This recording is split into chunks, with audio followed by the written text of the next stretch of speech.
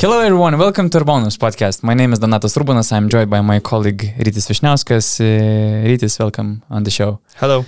Today, we're going to talk about the end of the regular season almost because still we ha- uh, we have one game to play uh, Fenerbahce Maccabi and we will see which team Maccabi will decide to play uh, in the playoffs uh, thanks to EuroLeague regulations which allowed to postpone games after the uh, last day of the regular season uh, but we will have a separate I know you want to interrupt me about a, a, little bit I mean uh-huh. it's, it's such a pity that we have this situation right now that we have to wait until Maccabi plays their last game uh, against Fenerbahce and you put Maccabi in a position where they can choose the opponent, which is a bad thing in any sport.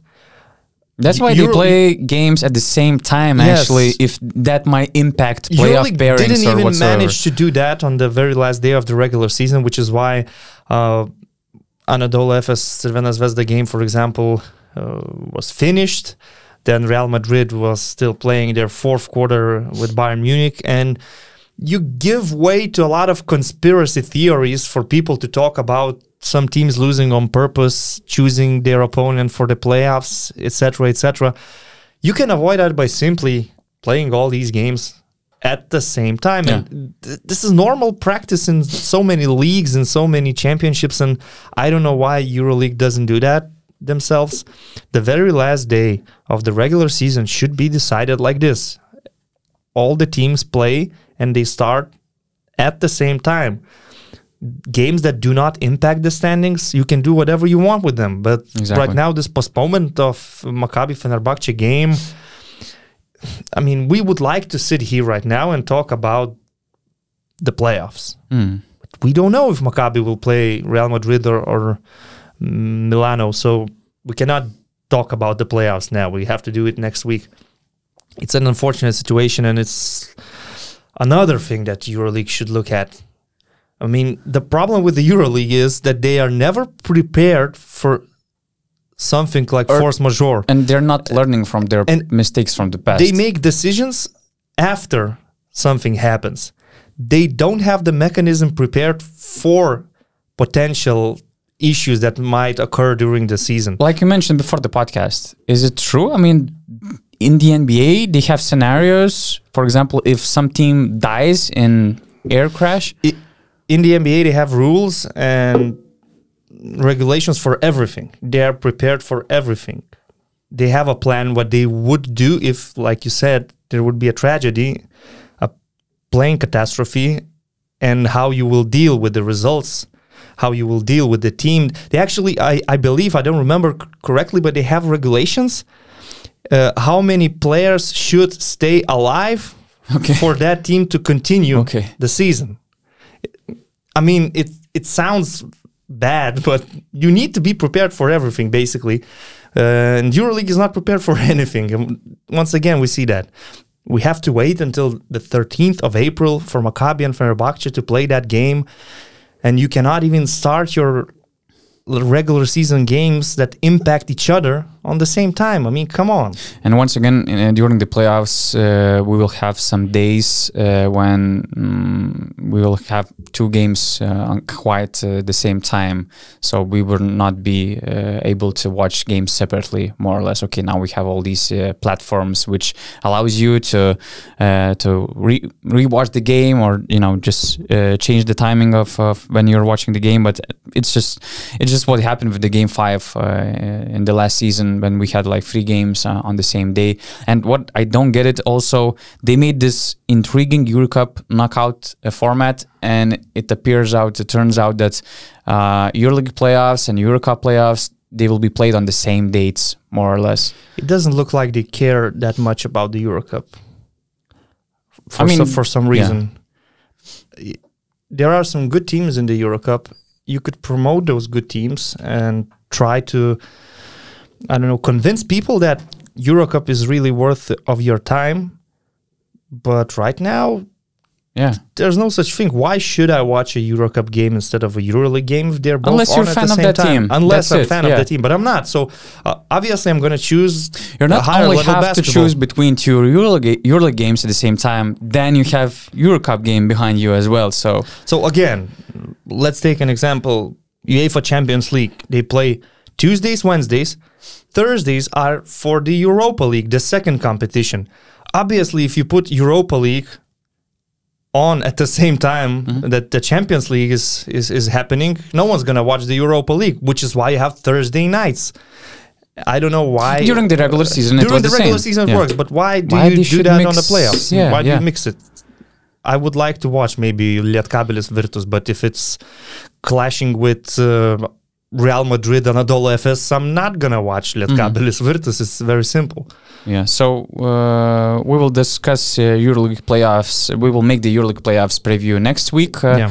Uh, we also we will also have a lot of our journalists traveling um to all these uh, playoff destinations. For example, I will follow Barcelona and uh, Bayern Munich uh, playoff uh, series, both in Barcelona and uh, uh, Munich. Then we will have uh, other uh, colleagues in other cities. And what Jonas asked me to let's say praise ourselves because we. Mm, we were in at least half of regular season games during this EuroLeague season with some exclusive content, uh, which you can follow on basketnews.com. So uh, definitely we will have a lot of more stuff, a lot of more content on basketnews.com during the playoffs. Um, and what is interesting, uh, we have to give a shout out to our playoffs exclusive partner, which is NordVPN, which might help you a little bit uh, to enjoy your league playoffs or NBA play- playoffs as well, because uh, they have a great, great. Um, services which allows you uh, for example to buy some nba league pass in more affordable price. For example if you choose your uh, vpn from india argentina ukraine you might get some better prices when you're uh, buying it from from other regions. And it's completely legal. So that's one of the great uh, nordvpn features. Uh, for example uh, last night i watched uh, real madrid and barcelona game live but i wanted to check some highlights of the game on Twitter, and most of the highlights were published by Spanish TVs, for example. And in Lithuania, you cannot watch the highlight even if it's on Twitter. But I I connected to some mm, Spanish VPN, uh, and I could watch it uh, all. So that's Another great feature uh, by NordVPN, they also offer uh, fastest uh, VPN services. Uh, if you're if you want to travel um, during the playoffs to watch some great games in in, in packed uh, Euro, EuroLeague gyms, uh, with NordVPN you can also buy flight tickets cheaper. Uh, for example, I also know friends uh, who, who try to buy tickets and from Lithuania with Lithuanian VPN, the there's one price, but if you're buying it from Germany, for example, with German VPN, you can get it uh, way cheaper. So a lot of good stuff, and I advise you to visit nordvpn.com slash urbonus, and you will get a great, great offer monthly. It's like cheaper uh, than a cup of coffee, at least in Lithuania. We have pretty expensive coffee in Lithuania, so in Italy it might be different. But once again, nordvpn.com slash urbonus. It sounds Yeah. like VPN does everything except cooking and cleaning. More or less, more or less. And you know why we have uh, more expensive coffee? Because in Lithuania we drink coffee from cups size like this, like That's true. American. yeah, that's American way. And in Italy it's like this, Yeah, because it's it's espresso and all these. and you have to uh, respect the culture. yeah, And here you go to a coffee shop and you decide whether you're gonna get medium, which is like this, you're gonna get large like this, or you can get like half a liter of, of coffee. but I still don't get it. I mean, in city center of Milan, you can buy cup of black coffee, okay, tall one for like one euro or something like that. In Lithuania, it's almost three euros. It's ridiculous. In the country of coffee, in the expensive town like uh, city like Milan, you can get it cheaper. So I hope that NordVPN somehow they will let me uh, buy uh, coffee uh, cheaper. yeah, that's all about NordVPN. And for today's podcast, uh, we will give some EuroLeague regular season awards. But before that, we must discuss. Uh, we must discuss uh, yesterday's El Clasico. Uh, another um, big win for Barcelona against Real Madrid. Overtime win by uh, 11 points. A lot of points to discuss, probably. Right? Where would you start with? I don't know. I would probably.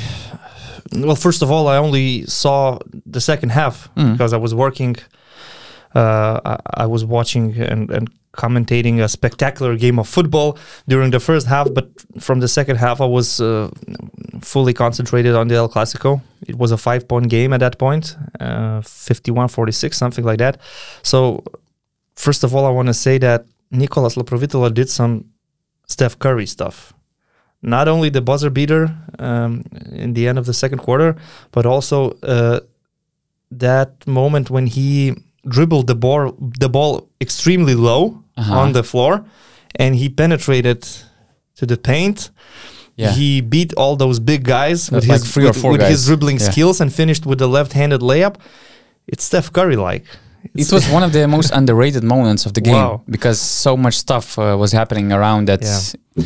so I, I first of all I would like to address the uh, the call Mhm, Okay. it's a clear foul I don't get all these emotions. I mean, I do get them that it's El Clasico and Pablo Laso is furious, but it's a clear foul.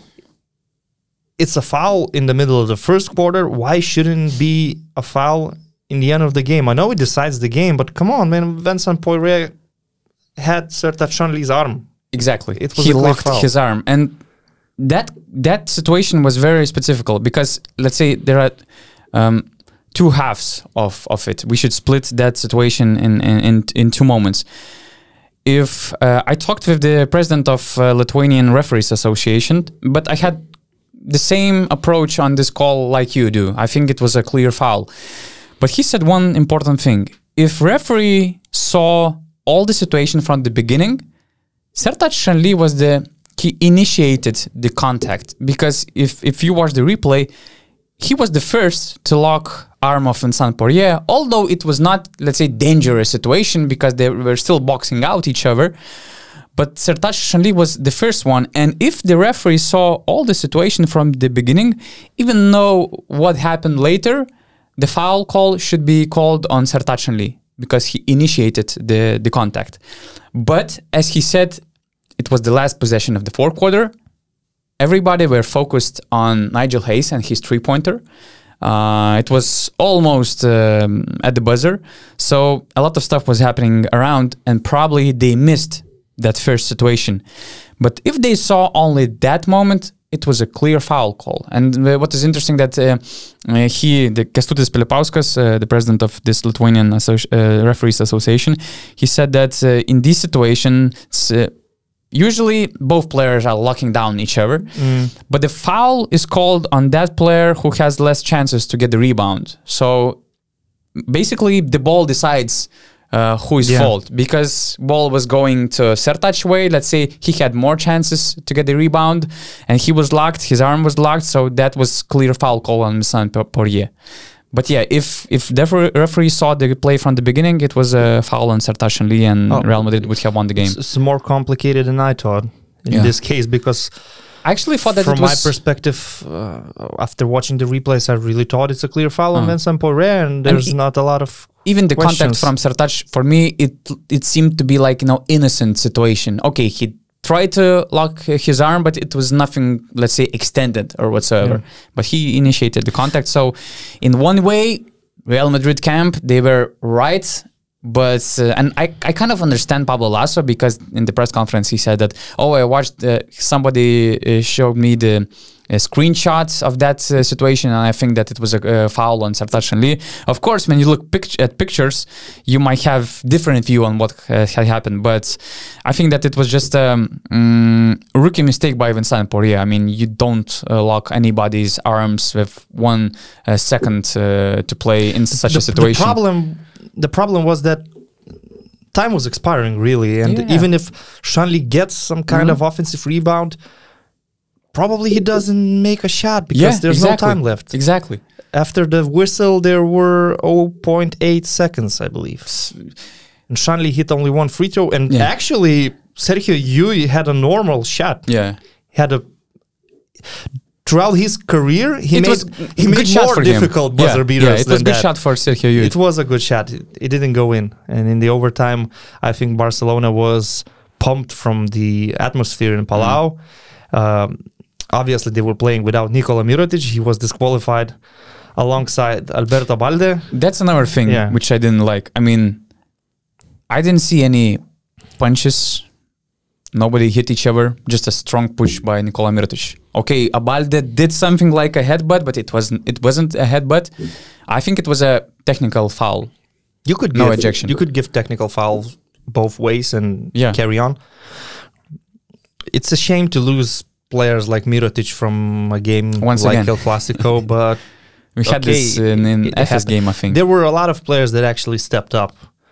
Uh, Dante Exum, first of all, uh, his poster dunk. By the way, what a crazy dunk, a monster dunk. Uh, also, Nigel Hayes stepped up in the overtime. Sertac Sanli himself with his pick and pop Yeah. actions. he made important three In the overtime, well. they were out outplaying Madrid. But uh, I have to give credit to Real Madrid as well. They are still in a very bad moment this season. They came to the Clasico after blowing a huge lead in the EuroLeague game against Bayern Munich, even though it didn't mean that much. But come on, they lost the fourth quarter They blew 33 point to lead 8 or Bayern. something Yeah. like that. This was crazy scoreline. And in this game, they are with basically one point guard, Sergio Llull. We know the situation with Thomas Heurtel. Uh, there are some issues inside of inside the club. Some players were sanctioned, let's say, Heurtel, Tompkins. And Laso goes to this game knowing that if we lose, basically it's impossible to catch Barcelona in the regular season. They will clinch the first spot sooner or later. And they were in the game all the time. Only five point game after two quarters. Barca makes a run. They were up by 11, I believe. But Bar- Real Madrid, they always found ways to stay in the game. And first of all, shout out to Gabi Deck. I think right now he is in such a great shape. Next season, if he starts like this, we will be talking about him like one of top three best small forwards in the league. And Barca just couldn't handle Gabi Deck for uh, long stretches in this game. So he was the guy leading Real Madrid. Basically, also some great pick and rolls with Vincent Poirier, also also points of turn- turnovers that Barcelona did. And in the end, as we said, Real Madrid were in position to win. Um, they had a chance. Vincent Poirier's foul, Sergio Llull's buzzer, beat, buzzer beater didn't go in. And in the overtime, I had a feeling that Barcelona will definitely hmm. break the game. But from Real Madrid's perspective, I think it was a good performance, knowing all the circumstances hmm. around this They team played in right Barcelona. now. Great, they played in great Palau, yeah. atmosphere in Palau. It was a good performance, good fight from Madrid, but they just cannot overcome Barca. This season, we saw the Copa del Rey final where, where Barcelona had to make a huge comeback. Now we saw a very close game that Real Madrid could have won in the last seconds. They didn't. They lose every single El Clasico this season, even though all these games are completely different from each other if mm-hmm. you compare them. Some of them are low scoring, very defensive, very physical games. The game yesterday was up tempo, high scoring game with a lot of three pointers and everything.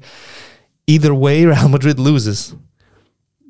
Dante Exum is becoming one of the most spectacular uh, players in Europe at the moment. I mean, the way he dunks the ball, uh, the way he penetrates, and he, he it it feels like he just um, he just want to put everybody in poster. And uh, okay, that dunk uh, over Hanga was incredible, but the previous dunk uh, against Vincent Poirier probably it was even better. He beat him in isolation uh, play, and he dunked the ball really hard. I mean, he's just fearless player, and in the heat of the moments, uh, in the heat of the game, uh, he kind of lost his mind, and let's say mm, he lost his mind in by Šarūnas Jasikevičius standards, and he wasn't so efficient. Uh, but the way he plays, oh boy, I just wish he won't go back to the NBA in summer just to chase chase some NBA opportunities because the future is here for for him the, here will in go back. Barcelona. He will go back to the NBA. I'm pretty sure. He has his mindset on the NBA. Mm. Yeah, he, made it pretty clear in, in the interview I had with him in Kaunas because I kind of had this wish, you know, to keep him here, and I told him actually that, hey man, you don't go there. I mean, you, you're you're just too good over there. But he said, ah, I know that I will come back in Europe whenever I want. It's true. Yeah, exactly. After uh, this stint with Barcelona, if he decides that he wants to play in Europe after, let's say, two or, or three years, there will be plenty of offers because he's proving that the EuroLeague basketball is as simple as it gets for him.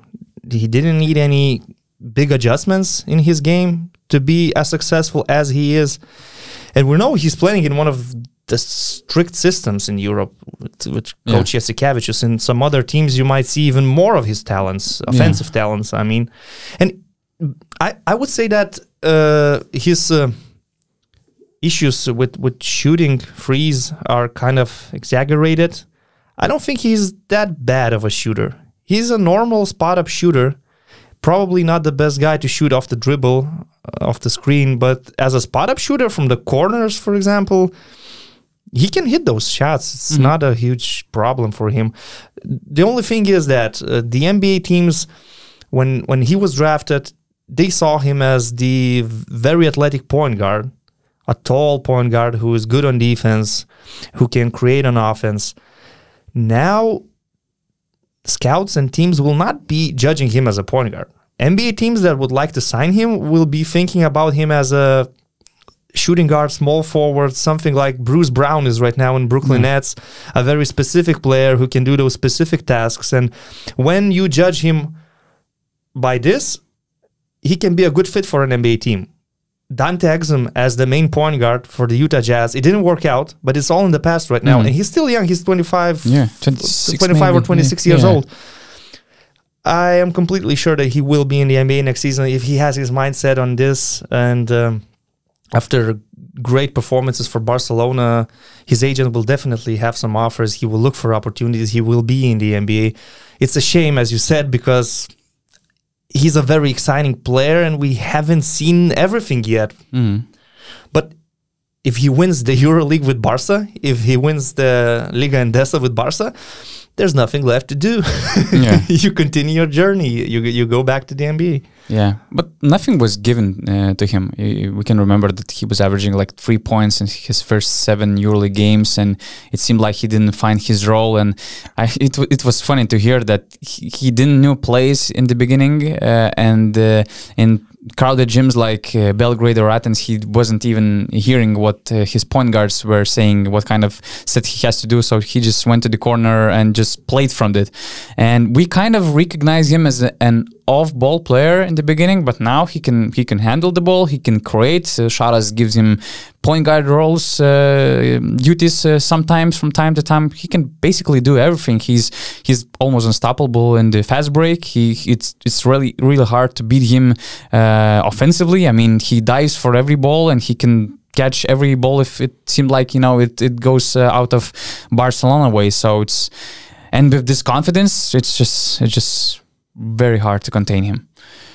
But getting back to the game, it was really an amazing El Clasico. So many emotions even Drama, after the game. yeah. You saw the reactions from Sharas. Uh, ba- Abalde, Mirotic fight in the tunnel. They they kind of continued, you know, talking about that situation. basically it's just a regular season game, right? But the rivalry is there, and especially in Palau, the tensions are always very high, and you rarely see Pablo Laso that emotional.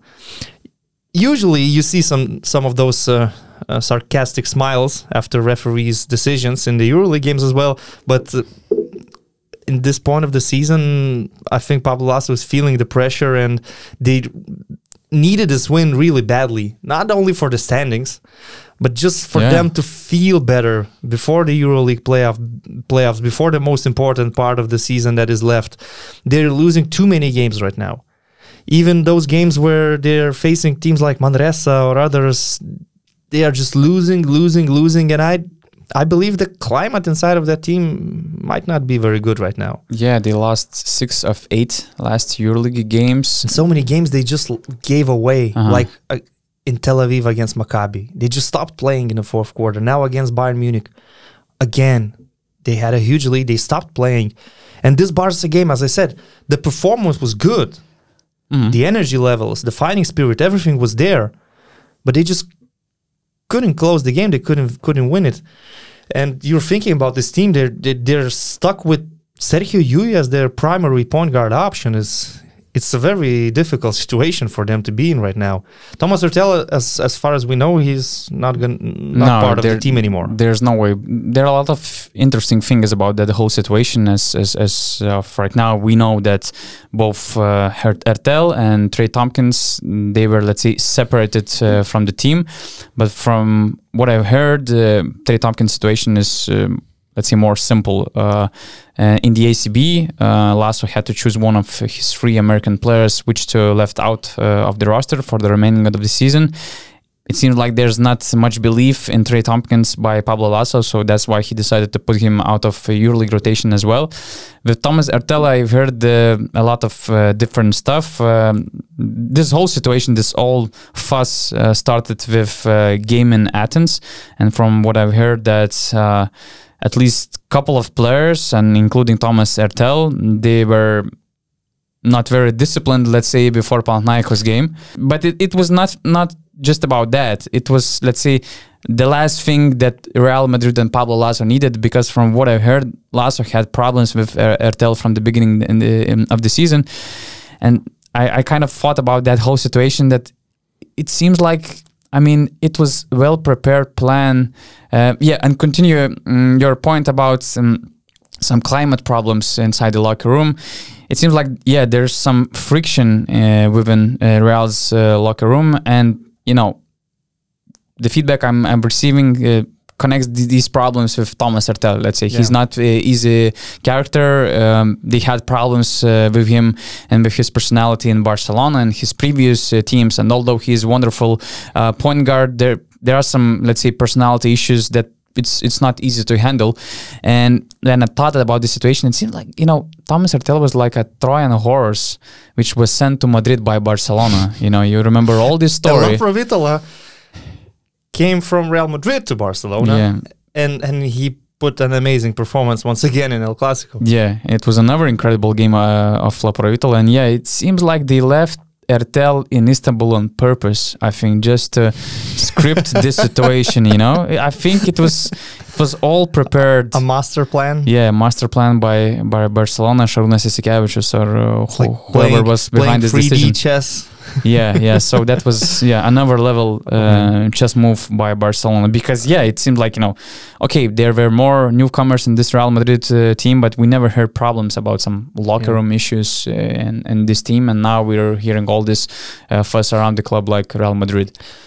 Yeah, my final thoughts about these two Argentinian guys from from the El Clasico. Um, I, I I mentioned Laprovittola's performance in his game. I have to mention that the Super Mario image really fits him very well. I love the stash. He has And, his own swag, uh, yeah. Nico.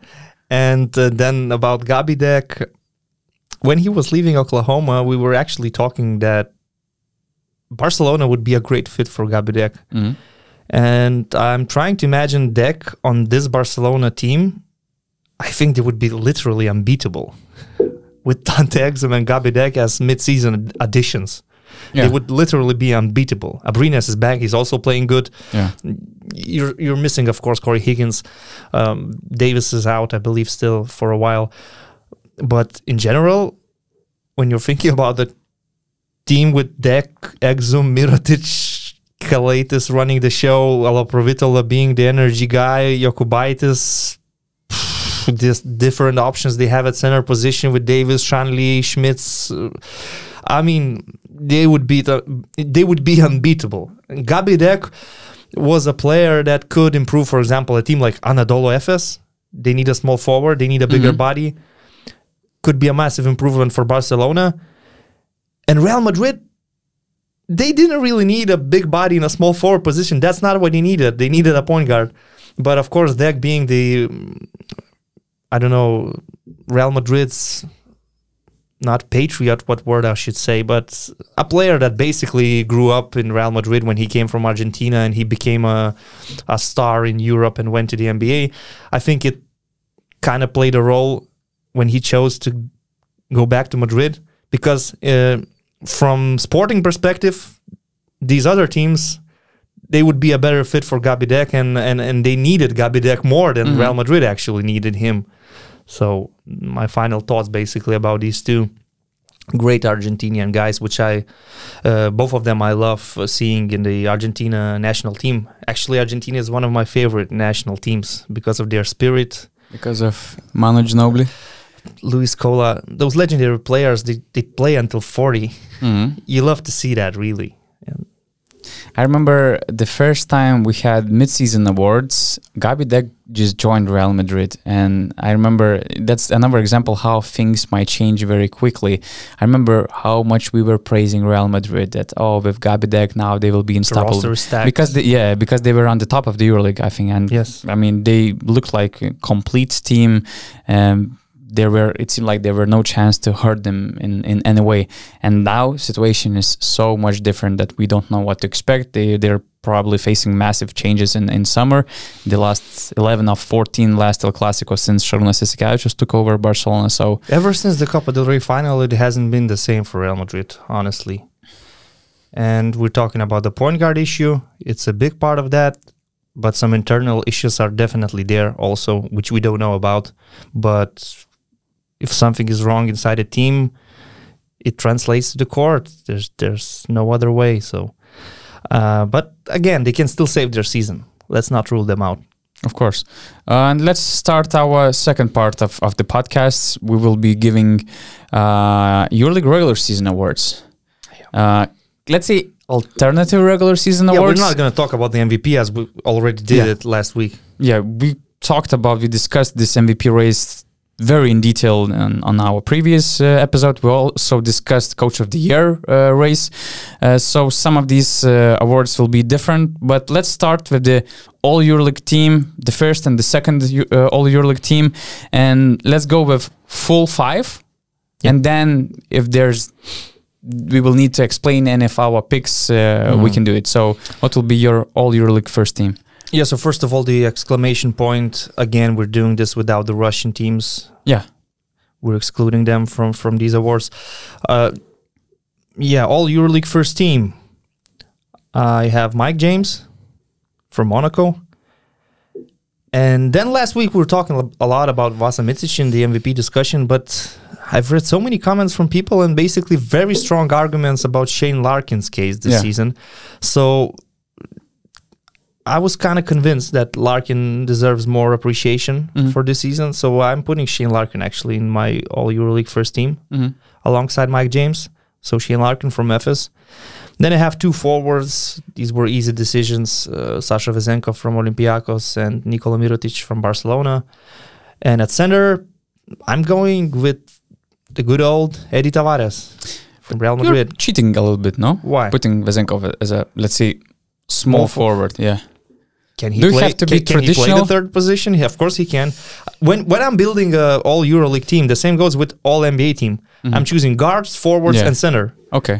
And I don't think there's mm, there's any need to put emphasis on who's a shooting guard and who's a small forward. Mhm. And honestly, would you like to have a team with Sasha Vezenkov as a small forward and Nikola Mirotic as a, as a power not, forward? Vezenkov has the skills, the speed, and everything to play the third position. I don't think it's a problem. You can call it cheating or whatever. Mm. I think it would be a sin to leave out Vezenkov from the All EuroLeague first team Mhm. after the season he he had after the regular season he had. The playoffs are still to come, but this is my first team. Yeah. Let's say I try to put it more like traditional way. Okay. Uh, like EuroLeague did in, in the past couple of years. Although I, I agree with your uh, five. I mean, your approach in this, like putting all just best guards, uh, forwards, and, and center. I try to stay, let's say, more traditional, and that's why I put uh, Vasilij Micic in the first team, uh, just because I see him as a let's say more pure point guard uh, than Shane Larkin or, or Mike James. So I have Micic, Mike James. From the small forwards, I don't see, let's say, elite option uh, for this uh, all EuroLeague team, but I took uh, Shawan Shields because although he missed some games, he still played more than 20 games, and uh, against the best opponents, he was really good, like scoring 15 points per, per game against top four uh, EuroLeague clubs. And then I have Nikola Mirotic, of course, and Eddie Tavares uh, as, a- as a center. Mm. Any any questions? Any doubts? By the way, why you were convinced? I mean, what uh, what was the main argument uh, that you agreed on this uh, Larkin and Micic debate? I'm just curious. Uh, that Larkin was more consistent. That That's true. uh, basically The last three or four games kind of ruined his picture, uh, but there were some reasons why he played like that. He got into a shooting slump. There was a game where he was sick, his worst performance of the season Mhm. or of his whole career, I believe, zero points, minus six efficiency. But people really convinced me that he had better numbers, better shooting percentages, mm, more games where he carried Anadolu Efes in the first part of the season. Yeah, Larkin was more efficient. Although, for example, Micic averaged 18.1 uh, point, points per game. He's the top scorer of the EuroLeague. Uh, Larkin's average was 14.6, but his performance index rating, index rating was 18.9, and Micic uh, had uh, 17.6. So he was not shooting so efficiently. Larkin almost 40% three-point shooting. Micic 35. I see that Larkin was dishing uh, away more assists, uh, 5.3 against 4.7. He was uh, turning the ball over less. Well, basically, you don't want to leave any of these guys out from the Mm. all EuroLeague first team. But if I'm going with Mike James, there's no possibility to put both Vasa and and Larkin, and I had to choose one. And like I said last week, I had my own ideas, but Yeah. sometimes you have to admit that other people have really strong arguments. yeah. and- I liked all these arguments actually. and I was. I was kind of convinced. Also, I think we had uh, an article on basketnews.com by Mhm. one of our colleagues yeah, about the MVP Larkin discussion, and Larkin Micic. was there Yeah, over Micic Micic not, and there were also Yeah. some good arguments. Uh, okay, so let's let's move to the All EuroLeague second team, Yeah. right? So what is your second team? Um, it's a different type because uh, you have more to choose from. Uh, when you're building the first team, you're focusing mainly on the teams that are in the playoffs and are with the possibility of making it to the final four. For the All EuroLeague second team, I tried to look at some other players as well from teams that didn't make it to the top eight. Well, first of all, of course, then Vasa Micic is my point guard. There's no question about it. Um, then I really wanted to have a one guy from Maccabi. I think they deserve a shout from for what they did, and they might finish fifth if they win their last game. And uh, I don't think he was very consistent throughout the whole season, especially in the first part of the season. But now, when they were making this playoff push, he really played very well. Not only scoring, but also dishing assists and doing all the things for his team. Scottie Wilbekin, I'm going to put him in my all EuroLeague second team, although many could disagree and have other names. Uh, then small forward, it's Nikola Kalinic from Zvezda. I just think he had an amazing season. I I think if you take Kalinic from this Zvezda's team, you have Zvezda somewhere at the bottom of the EuroLeague. He was basically the not only the glue guy, he was everything for Crvena Zvezda this season. And the last game of the regular season just proves the point with this near triple double performance against Anadolu Efes. Nikola Kalinic, I think he deserves a spot in, in, in this all EuroLeague second Mhm. second five. Uh, then Gershon Yabusele, this is a very easy one at the power forward. Great season for for the Frenchman. Nothing else to be said, Mhm. honestly. Okay, and about the center. And center, one of the most intriguing positions. center, I was thinking about different options. Again, you're feeling disappointed with Fenerbahce the way their Mhm. season went and everything that happened. But Jan Vesely still has uh, great numbers from this season, and uh, I still think he's one of the top five EuroLeague players in general. So I'm I'm choosing Jan Vesely. Yeah, okay. So my five is Kostas Sloukas. I just think that he's okay. Okay, his numbers are not so impressive compared to his colleagues like uh, Dorsey or Vezenko. Although according to performance index rating, I think he's second best in Olympiacos team. But let's say his stats, his, his stats line is not so shining. Um, but I think that he's the brain of, of this great Olympiacos is, uh, team and sure. this awesome Olympiacos season. And as I said, I have uh, Larkin because I just think that you know I took James and Larkin as my shooting guards, and I think that Mike James made impressive job with this Monaco team, uh, leading uh, this club to the playoffs. Uh, so I have Lucas and Larkin as my guards, and that's the same debate I had with Maccabi. Had to put somebody from Maccabi out of respect uh, for what they did this season. So And I had- Nunnally. I had three guys: Wilbekin, Nunnally, and Zizic. Uh, they had great, great season, but I put James Nunnally because he was really consistent. He was really uh, efficient. He was scoring almost 14 points per game on, on almost 40% of three point shooting. And uh, against top four teams, he was averaging uh, more than uh, 13 points. And in the last 10 games, uh, he was the seventh most efficient player according to per player performance. Perf- performance index uh, rating. So that was huge for a late Maccabi run uh, to make it uh, to the playoffs. And of course, it was easy to take Vezenkov as my second best power forward if I went traditional way with these all EuroLeague teams.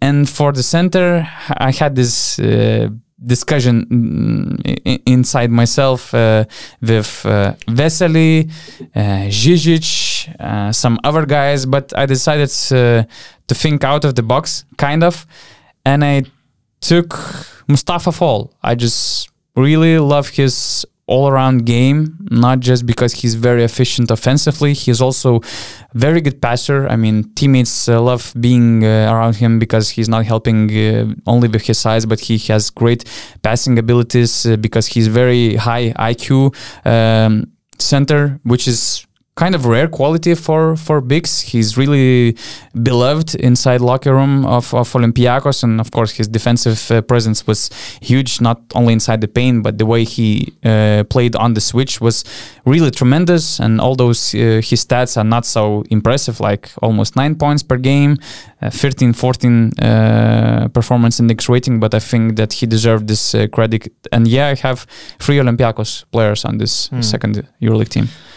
The only problem for me with your approach going traditionally was that uh, there's no space left for Gershon Yabusele. And uh, yeah, he was my third best uh, power forward in this discussion. Yeah, so, so I like the way you managed to make some room for Yabusele. But uh, I like your choice of James Nunnally actually.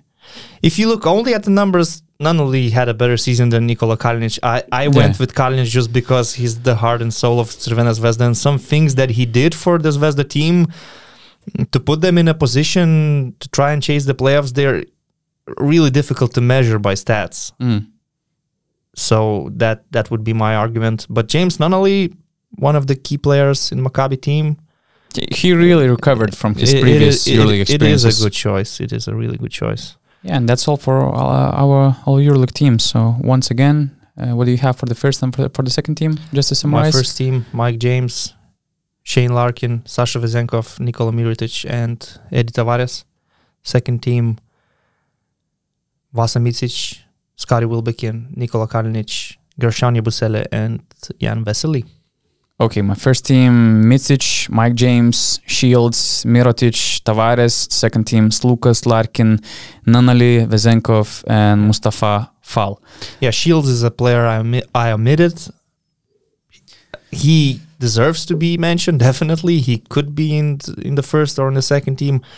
He missed some games, like a few months mm. because of injury, um, and I don't have any player from Milan yeah. in my first and second five. But this just says more about Milan as a team that yeah. they don't really have these spectacular spectacular individual performances, yeah, but they have a very strong veteran team, and they finished the regular season in the third spot. Yeah, and for our let's say second award, we had this Batman and Robin award. Yeah. So we had our own Batmans in the last podcast with this MVP race. What would be your Robin award? Robin. Although it might be, let's say, disrespectful for some of the uh, players, or let's say co MVP, uh, yeah. the next very important player next to the MVP. I think it's a hard one, but. Uh, I'm going with Olympiacos in this case, and if we're talking about Sasha Vezenkov being one of the MVP candidates and being one of the best players this season, then Kostas Sloukas fits the description of a Robin. Although, as you said, he's the brains yeah. of the of the team. He's the point guard. He's running the show. So then it's quite a simple choice for me. Kostas Sloukas, one of the best point guards in the league. But again, the star of the team is Sasha Vezenkov. So if Khris Middleton is the Robin to Giannis Antetokounmpo, yeah. then Kostas Sloukas is the Robin to Sasha Vezenkov. Yeah, I have this uh, for this award. I have Vasa Micic slash Shane Larkin because I think it's very hard to find such an equal elite players duo in the EuroLeague as we had with Micic and Larkin. And from what we saw, if one of them was missing, I mean, Efes they were in trouble. Uh, he missed, uh, I think he missed six games, uh, and uh, no, he missed seven games and. No, yeah, I, I, was right. Six games, and Efes lost three of them. When Larkin was out, uh, only once, and in a single game, Efes also lost that game of course, uh, he was kind of off. He was kind of out in that game uh, against Monaco uh, when he had some health issues, and they also lost that game. So combined, they won only three of seven uh, games when one of these players were out, and they're just equally important to this team. We cannot imagine uh, this team being very successful or playing on top five, top four level if, if somebody is missing. And yeah, we had even this debate who is who is better uh, this season. So just that just that just uh, fits this award. The next one is best coaching decision, best coaching move, best coaching adjustment uh, of the season? I'm still thinking about some of them. Mm. Maybe you have something. I have Sasha Obradovic. Very clear, Sasha Obradovic. Yeah, I mean, sometimes we're judging players for underperforming, but at the same time, Sasha Obradovic just showed how important coach in Europe might be because we saw different version of Mike James. We saw that Donatas Motiejunas turned out to be also a different uh, player, and Sasha Obradovic. I think that he just unleashed the potential of Monaco. He gave clear roles for all of his players. He used the strengths. Um, he was very involved in all uh, process and if we remember that Sasha Obradovic was known as very disciplined, as a hard, demanding coach, he changed a bit. Uh, and for example, what players uh, loved about him was that he was just just passing the ball uh, during the um, shoot arounds on game days, for example. Uh, he was talking with players uh, more. Uh, he was more flexible, uh, not so disciplined as he was uh, before. And he really he was a glue guy for this team. And when Mitrovic was still at the helm of the uh, Monaco, uh, I mean, there were a lot of players who were almost on their uh, suitcases. They were kind of packed for for leaving the club. Obradovic came in. They wanted to check how it, it will go with this coach and now even on this winning streak even on this great great uh, moment of monaco he still has to continue all these adjustments. He still has to continue, you know, handling this locker room with a, lot of instead, good egos. Right? Yeah, because uh, it, it, it, was um, mm, this option for the next season was locked uh, when he made the playoffs. That was kind of uh, clauses of his uh, contract. So there's still a lot of jo- job to do for him, even though the the task was achieved. I mean, Monaco made the playoffs; they saved the place in the EuroLeague for the next season. So he's doing really a good job, and he once again he showed how important the coach in, in Europe is. We were the ones that really doubted this decision by yeah. Monaco. We were very skeptical about it. Uh, I think we would look like fools by listening uh, to the podcast. When it's not we, the first we, time when we were talking about. Uh, we we ruled Maccabi out the of the playoffs. We didn't even well, discuss that. I mean, Ma- Maccabi's case is a little bit different. Maccabi uh, before the season, I was predicting them the mm. top eight. Then during the season, I thought it's over. Then um, disqualifying it, the Russian teams really helped them but still we ruled still, them, them, yeah, them out. We're yeah. still saying they're not going to make it. Uh, but about Sasha Obradovic, we were just saying that look, this team needs a really soft coach. Martin Schiller. We were talking about Martin Schiller. Now it sounds really foolish. They yeah. got a very good coach that is controlling the team and the players look happy and Mike James is satisfied. The coach matches the ambitions of the players. Uh, so yeah, we were so wrong. You could not be more wrong than we were about Sasha Obradovic in Monaco. Uh, but then about the coaching adjustment or decision of yeah. the year, as the award is. Um, my coach of the year is Bartzokas. I said it last week, mm-hmm. but um, the coaching adjustment of the year, I gotta give a lot of credit and respect to Andrea Trinchieri for making the playoffs again with all the odds being against him. COVID, players out, three COVID players injured. You don't have training sessions. You don't have any normal ways to prepare for for games. Then you have those postponed games, and you have to play not double but triple game weeks. And again, of course, Russian teams were disqualified. It, it helps you, Yeah. but you still need to finish the job. You still need to win crucial games. And the biggest one was when they faced Zvezda Mm. at home.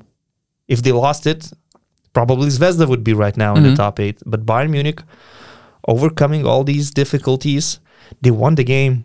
Andrea Trinchieri, you could see how frustrated he was with his whole situations uh, situation uh, when they lost in uh, Athens in OAKA in the interview for television and Andrea Trinchieri was so mad about Mm. this It was painful Uh, question to him. yeah. Yeah. it was so unfair why did covid hit us why why are we in this position but for second year in a row Bayern Munich are in the playoffs and to me that's the biggest coaching adjustment that Andrea Trinchieri barely had any games with full roster Mhm. but he still brought the best of guys like Darrun Hilliard, Augie Rubit, Vladimir Lucic when he was healthy. Uh, he managed to change the core of the team that was there last year with Reynolds, with Baldwin, brought new guys, build a team, and he's in the playoffs again, and he's preparing for a series against Sharas and Barcelona. So, I mean, it's it's just an amazing Yeah. uh, achievement. The season for Bayern Munich, uh, like I said, the odds were against them from the beginning. Do you remember the beginning of the season? Lucic out, They had COVID players in the out. They had a preseason. COVID outburst in the preseason. They started by losing games. I think they got their first win only in in, in Kaunas. after four ga- losses And it was a. Lu- Lucic's comeback game, and, and they barely won it by uh, yeah, yeah, by two points or something Uh-huh. like that. And at that moment, you were not thinking that they, they are playoff contenders. They were coming back, that, but then Darrun Hilliard uh, got injured for three months. I mean, Othello Hunter, Corey Walden, they were injured for one month and more there were in the players preseason. stepping up, like Jaramaz, for example. There were games where Andrea Trinchieri, like a genius, played Obst to change the game with his free point shooting abilities. We know that Trinchieri is one of the smartest coaches in, in Europe, and he's proven that again this season. Yeah, I had the one hour conversation with the GM of Bayern, mm, mm, Daniele Baiesi, and I remember he was telling me all these stories. Some of them were off the record, and it was even more painful uh, problems they were going through uh, this year. And I, I kind of I felt so depressed actually because it, you know all these problems just made my head heavy. What they had to go through. Uh, a lot of things were untold and they will they will be because uh, you know it, it, it a lot of questions a lot of situations uh, also are related to um, mm, some serious health issues of some um, some players because uh, covid kind of uh, hit them hard um, mm, leaving some long-term consequences uh, for some yeah, Lucic was saying players. that, that he had Yeah. problems Lucic was out for more than one month. Uh, and even in that game against Žalgiris, he said that he still uh, had a hard time to catch the breath. Yeah. Uh, after that, some other players had this uh, same thing too. Some some guys were uh, tested positive uh, with two different versions of corona in, in two weeks. I mean, it was an incredible journey for Bayern, and I just hope that they will. Um, gather themselves for the playoff series because Trinchieri is a smart coach. He might make some uh, interesting adjustments to make uh, Barca's life just a little bit harder. He reminds me a lot of Xavi Pascual. The problem is that he doesn't have that quality Xavi Pascual had or that momentum Xavi Pascual had for the playoffs. But yeah, uh, well deserved award. The next one, defensive player of the year. We had uh, okay. Let, let, let's let's start with your selection. You could go with the obvious one, Mm-hmm. Which mean, is Walter Tavares. Eddie Tavares, yeah. But I want to award a legend, a player that is never declining, a player that is the Iron Man of the EuroLeague. It's Kyle Sir- Hines, Sir, Sir Kyle Hines. Hines. What a legend! What a player! And what a season again. You look at the numbers. You look at everything he's doing. You said that we look like fools predicting Sastam. Now Kyle Hines looks uh, like a fool Saying saying, that he might retire after the season. Man, I mean, um, Milan right now, I think they are second in the defensive rating Yeah. as, as a team. And Kyle Hines is an integral part of that. Uh, there's still no one better than Hines at guarding all five positions. In the switch all defense, there's still no better player for you to have than Kyle Hines at center. Uh, his impact is just, I mean, incredible. He makes clutch plays all the time, like blocks or rebounds, plays that decide the game in the end. And when you're defending the final possession of the game, having Kyle Hines on the court is a huge advantage to you. Uh, and I just want to award Kyle Hines. Maybe you could argue that centers like Tavares with more blocks, with more everything, um, deserve this award. But Hines to me is still so unique, irreplaceable, legendary, and like I said, he's not declining. I don't know. He may he might continue until until like forty three or forty four. Look at his physical shape.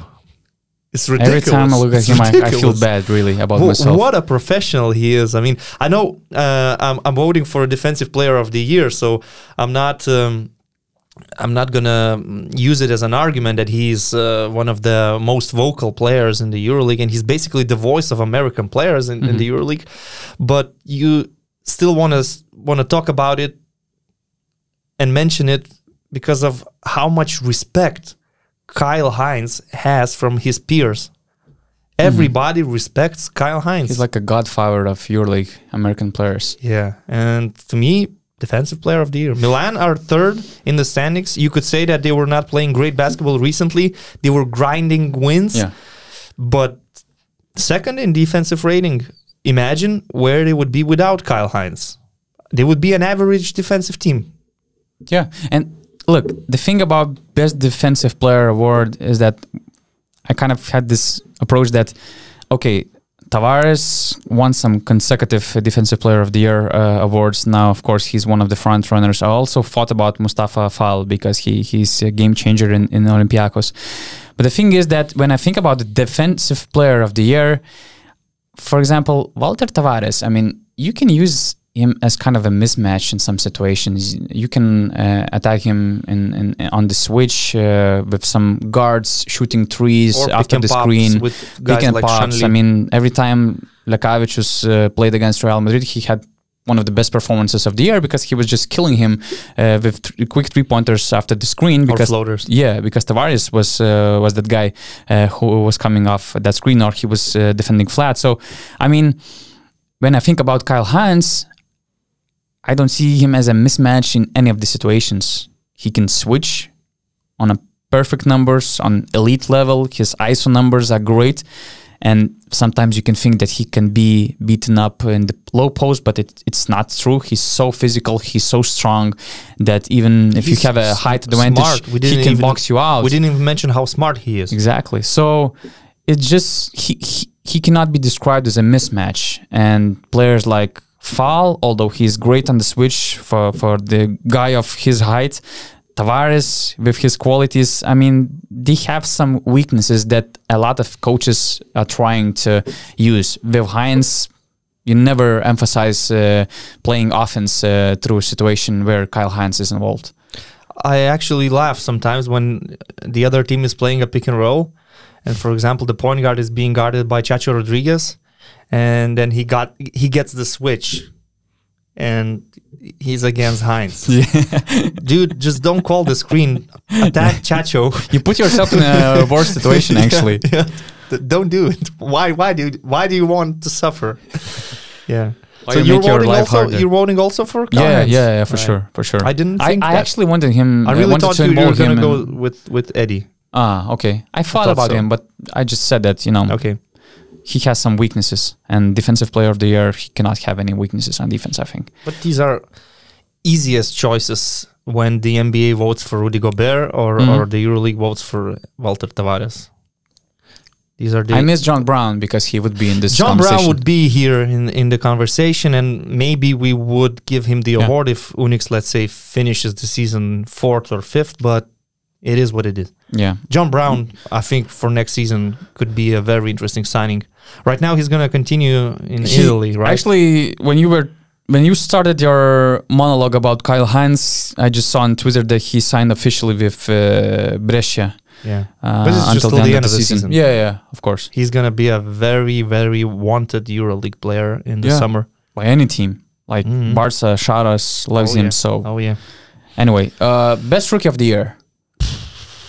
I went with Elie Okobo actually. Yeah. I mean, they are uh, good players that these were their first seasons in, in the EuroLeague, even though they are quite experienced, but it just happened so they never played in the EuroLeague. Elie Okobo is a young player. He's he's still a developing player, and he proved to everybody how good he is. Right now, he's in a position to choose from uh, very strong elite clubs in Europe or to try and give it a shot again in the NBA. But for Asvel, it was a treasure to have a player like this. Thanks to Tony Parker and Thanks his to Tony connections. Parker. Um, he has a lot of skills. He's left handed, hitting step back freeze, driving to the paint. Uh, it was difficult for him to stay consistent throughout the whole season because he's still very young and it was his first year in the EuroLeague. But still, I mean, he deserves a lot of praise for what he did this season. I know that in the end, Asvel finished only with eight wins, but they were sort of competitive, and you could not imagine them being competitive without Elie Okobo's number. So to me, he is the rookie of the year. Yeah, I really loved him in the first uh, half uh, of the season. I wanted uh, him in Real Madrid, for example, uh, for their uh, rebuild. Uh, and I think that he was one of the rare rookie examples making the top scorers list, like top 20 or top uh, 30 scorers in the EuroLeague. I think only him and Macon made the list. But anyways, I decided the, the problem with Okobo, as you mentioned, he had injuries in the second part of the season. Uh, they kind of declined together with uh, Asvel in, in the standings, and the problem is that he was not he couldn't stay consistent on the court. And for example, in the second part of the season, uh, he was averaging only 11 points per game with 4.3 assists and he had that 2.7 turnovers. James Harden like dagger in Kaunas. he had he had many of these daggers. He had many of these daggers, but um, you know, if he was just a little bit better in the second part of the season, I would go with him. But this time, I'm just too much in love with Devon Hall and Fair how enough. he progressed Fair during the season. Because since round 22, uh, he was averaging almost 12 points per game uh, against top four uh, EuroLeague teams. He had highest point uh, differential uh, net rating in his team uh, in the second uh, part of the season. Both of his offensive, defensive numbers were huge. He was the leading player in, in both of these categories in Milan and second best scorer after Shavon Shields. So um, I just liked his transition because he came to Milan on really low money to be kind of a backup spot up shooter with some, let's say, physique to be a solid defender.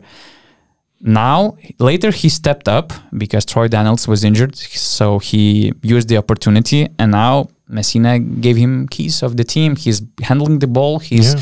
he's uh, playing from pick and roll. He's creating for others. He's making his own shots. He's not so let's say efficient. He's not very consistent yet with this role, but you know he's the he's his rookie in the EuroLeague. Although he had some uh, years in, in the NBA, but he still he needs to adjust. And for sure, Milan will do everything to continue to extend the, the contract with him. And he has a bright future uh, since Messina also uh, signed an extension uh, or will sign an extension. So I think that he has uh, big plans for Devon Hall too. Yeah, he became one of their m- primary ball handlers alongside Delaney and, of course, and Rodriguez. Chacho was uh, There were- injured at first. That's issues, why I think issues. they made this move. But uh, then again, they signed players like Troy Daniels, Ryan Grant, uh, Devon Hall in the summer, and these guys were, I would say, under a lot of pressure because you are in a position to replace one of the elite scorers, Kevin Punter, that led the team to the Final Four last season, and they were one shot away from making it to the final. So I don't know if they felt the pressure, but from fans' perspective, you're pressuring them because you are the people that's supposed to replace Kevin Punter. Now, Devon Hall, you're the main shooting guard for the team. So people are going to compare you to Kevin Punter. And in terms of scoring in Europe, there's not many better players than Punter is. And Devon Hall is dealing with all these uh, duties very well. Uh, not necessarily scoring a bunch of points. I think his average is like 11 points per game, something something like that. Yeah, yeah. But with very good numbers, with good consistency, and he's unselfish. He's very unselfish. He can pass the Mm. ball. Very smart, very intelligent. And again, another, another left-handed player. shooting guard. It's very difficult to guard these left-handed shooting Yeah. guards. He's physically you know that he's player. left. He's a lefty, but you're so used to guarding right-handed players that sometimes you make those mental mistakes. And it's a good choice, I think, for, from from your side because obviously, if you compare uh, the the teams, Milan is in the top three. Mm-hmm. Asvel is almost in the last place, but Elie Okobo just impressed me so yeah, much. yeah. So I'm going it was a pleasure him. to watch him too. What do you think was the what was the best in-season front office adjustment of the year? Again, we have to go back to hiring Sasha Obradovic probably, but it was already discussed a lot. Mm. So let's let's not repeat ourselves. But to me, it saved the season. It saved Monaco's team basically. As you said, some players could have left already. It saved the team the season. It showed again full capabilities of Mike James. They made the playoffs, and of course, you're thinking right now that Olympiacos is probably the worst matchup they they could have got from their seven Mhm. seventh uh, Seed. seed. Uh, right now, if if they would play Real Madrid in best of five, I would bet money on Monaco actually. But they're playing Ol- Olympiacos. But who knows what's going to happen? Yeah. Sasha Obradovic is a great coach. The chemistry between the players right now seems very good, very solid. I think Olympiacos are in for a tough series. So basically, this is, in my opinion, the best GM decision. They didn't hesitate. They didn't wait too long. They decided to replace Zvezdan Mitrovic and hired Obradovic, which we doubted this, whether the decision is right or wrong at that moment. Yeah, you remember we praised Zvezdan Mit- Mitrovic a lot because he gave so much Yeah. to this club. They won the Won Euro, the Euro Cup. Cup and everything. Yeah. They didn't stick It was to a painful decision yeah, they save. didn't stick to all these sentiments. Uh-huh. They wanted to save this season. They thought that with the quality in the roster, they can still make the playoffs. And probably there were some discussions with Sasha Obradovic. He had his own ideas how to bring the best uh, out of these players. And right now, you see Dwayne Bacon flourishing, Mike James being one of the best players in the league again, Donatas Motiejunas, some amazing performances from him, Dante Hall, everybody. So yeah, I- I, uh, again, I could go with, for example, hiring Dante Exum to Yeah, improve your yeah, team and yeah. to replace injured Cory Higgins. It's another genius uh, GM decision, but not many clubs are in a position where they can afford to sign Dante Exum. Let's be real about that as well. And Monaco just made the right move at the right time. Yeah, I try to think about something else when Monaco, but really it's it's hard to match uh, how they build the team on stand. Basically, signing Mike James in September, Will Thomas uh, in September as well. Uh, even they they signed Bacon. We're making a lot of fun uh, of him during this year. Well, he he's scoring. He's scoring like almost 15 points per game in the last 10 EuroLeague games, and they they were really uh, unstoppable in in the last uh, stretch of the regular season. And with all his uh, of his weaknesses, he also gave a lot uh, to this uh, team. And as I said, you know, switching coaches, sacking. Coach which was really beloved uh, in in whole Monaco organization and he still is. It was they made some great great moves and it's it's really hard to match them. I mean I also know the worst GM decision during the season. Signing Ty Webster. okay. You're trying to save your EuroLeague season and you're signing Ty Webster alongside Zoran Dragic, who barely even Who played left already. And, and he left. And Ty Webster, you thought that this is the guy, this is the guy that can help us. Yeah, and you decided to mm, cut uh, Manuel Manuel Mudiay and you signed Ty Webster instead of waiting for Mudiay's potential to show in the second part of the season. Yeah, that was bad. that was bad. that was bad. it, it probably could be magic moment of the season uh, award, but not. Probably we will have uh, another choices for this one. So Most what, spectacular play of the year. what do you have? There were a lot of uh, A lot of- good thing, good I'm things. trying to run them all in my head right now, and I'm just thinking so many we had crazy endings. game winners uh, from the logo ASVEL Monaco. We had the shush, all what it caused uh, on the court and Mhm. off the court. Mhm. Uh, some amazing games between top teams. It's it's really too hard to remember anything. Wow, we had this game that didn't mean anything for Barca basically last week, but Maccabi played an all-star game in Palau with alley oops, passes between the legs, and everything. The funny thing, Showtime Maccabi. the funny thing about Maccabi is, uh, you remember you said that they look like a G League team, and uh, I Oh. said the style of play. Uh, I'm Yeah. sorry, uh, maybe I wasn't clear enough, and maybe I was too harsh on them yeah, yeah. or the coach Avi Even, but I meant that the style of play reminds me Yeah, of the G. League, not the quality of play or the professionalism. I'm not questioning the professionalism. These are great players they have. Of course, of course, of course. There's n- no need to, for any explanations of, of yours. But what is interesting that uh, our podcast was recognized by Israeli media and uh, Walla, uh, one of the probably top websites in Israel, uh, quoted our podcast. So now I'm hated in Israel as well. The funny thing is that they put that quote for me. I mean, they quoted me on this for what what you said. So I don't have I any, can go back to Tel Aviv. any hopes to have any media availability now in Tel Aviv. I mean that was Oh, that was man. crazy. One of my friends just shared the article and said, "Oh, you you said some bold stuff about Maccabi," and I was like, "Okay, I remember what Rytis said." But I actually in the, in that pop, podcast, I actually said that oh, with the momentum they have, I think that uh, Yeah. they still can have some hopes uh, to So- win games in the playoffs. So guys, listen. uh, don't put the blame on Donatas. He is a journalist. He would like to visit Maccabi from time to I time. wanted to have Derrick Williams And on interview. I am so not a journalist, so put the blame on me. These were my It's- it's words. too late. These were my words. It's too late. And I, I noticed it all before the midnight. It was like si- six Damn it. hours since the in, um, article was published. There were like 80 co- comments. So he didn't deserve that. Why would you although do that? I kind of agree with what you said because you said some very good things, but there was nothing disrespectful for, for any of the players, or even even the head coach. I, j- I just questioned Avi Even, which is I think a normal thing to do. I Yeah, don't I yeah, don't know yeah. his coaching abilities. I Yeah. don't know how he will match against Laso, for example, or Messina. We'll see. So moment, magic moment of the season. So many, so many. Really, I honestly cannot Mhm. single out one particular dunk or shot or anything like that. You could talk about even what happened in Milan with Fenerbahce Uh-huh. and Messina and, and after the game. yeah, Kyle Hines then tweeting about it. A lot of stuff happened. A lot of unusual stuff. generally speaking, EuroLeague regular season was great, uh, except from war, which was uh, except from invasion, which also changed the EuroLeague basketball picture.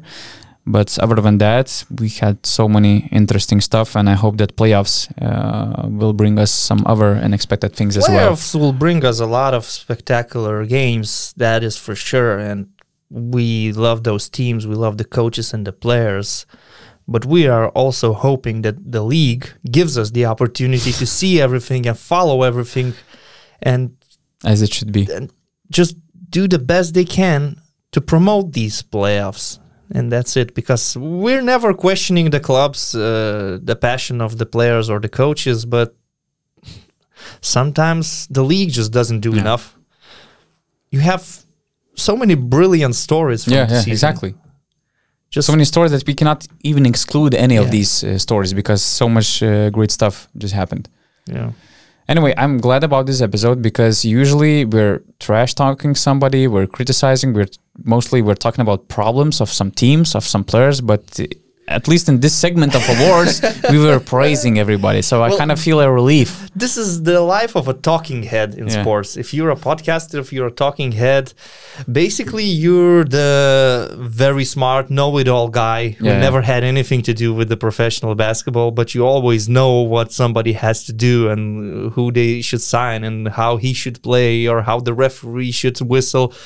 Uh, if you choose to do that, that's what you have to do. And sometimes you look like a fool, as we said. Yeah. So many times we were dead wrong about so many things. Show me, me any person who was always right in sports, Charles predicting Barkley. something. Okay, Charles Barkley. Or Shaq, I don't know, man. Linas Kleiza probably as well. Yeah. Right, yeah. Yeah, this was a good episode. I like it. Even though I, I wanted to have a, an episode about the playoffs, but Mhm. we have to wait Yeah, we will have this episode on Next Monday. week. Next Yeah. week. So thank you all for watching. Follow us on basketnews.com. Uh, and also uh, use this uh, great offer of, of nordvpn.com slash urbonus. They're doing some great stuff. They were recognized for becoming the second unicorn in Lithuania, I guess. I mean, they're doing Mhm. some great, great business over there. So yeah, shout out to NordVPN and everybody who are watching us. See you soon.